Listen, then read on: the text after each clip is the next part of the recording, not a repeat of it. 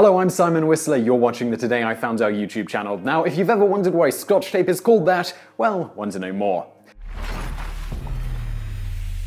Despite the name, Scotch tape wasn't invented by the Scottish. It was invented by a college dropout named Richard Drew from Minnesota, who worked for a small sandpaper company founded in 1902 called Minnesota Mining and Manufacturing, later known as 3M. The name Scotch itself has an origin story almost as interesting as the invention of Scotch tape.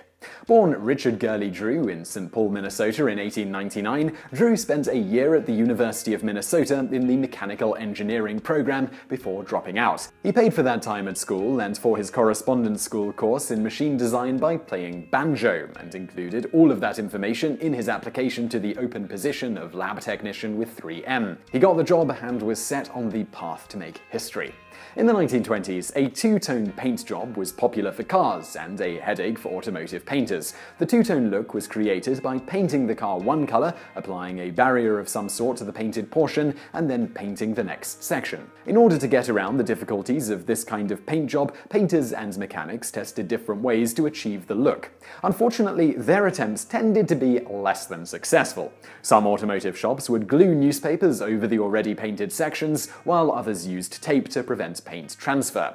However, these techniques often left a sticky residue on the paint that was difficult to remove. Sometimes it would even mean the painters had to do the entire paint job over again. One of Drew's jobs at 3M was to deliver samples of sandpaper to local automotive shops for testing, where he often overheard workers who were painting complain about the problems with tape used for these paint jobs. The 23 year old lab assistant then got the idea to create a new tape that would create a seal so that the paint wouldn't get through and yet also come off clean without leaving any sticky residue that ruined the paint finish.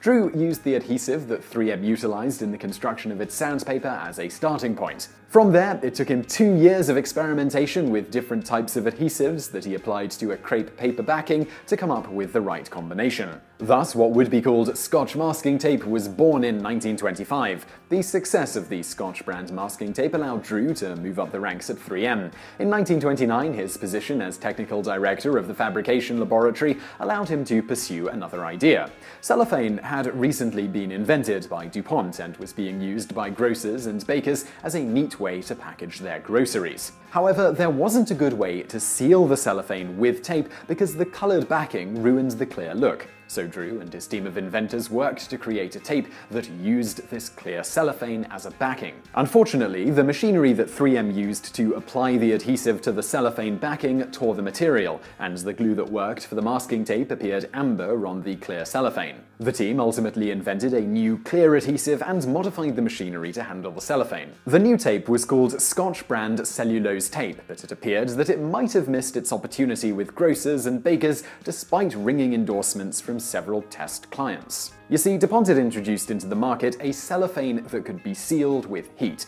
Nonetheless, despite missing their original target market and being released during the Great Depression, the Scotch brand cellulose tape thrived with various home uses. So this all brings us back to how the term Scotch came to be associated with 3M's masking and cellulose tapes. When Drew and 3M began allowing car painters to test the new Scotch brand masking tape, one painter supposedly complained about the lack of adhesive on the tape.